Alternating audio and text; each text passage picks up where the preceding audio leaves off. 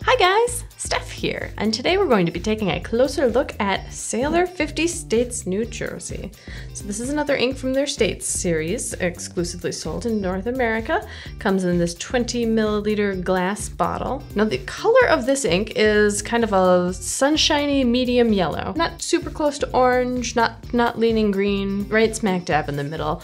It's pretty legible, although I would definitely recommend using it in a broader nib if you were gonna like write out a whole page. Otherwise it is absolutely stunning for like watercolors and artworks because you can get a nice big range of different shades. So I've got it inked up today in my Pilot Kakuno with a medium nib. Let's check it out.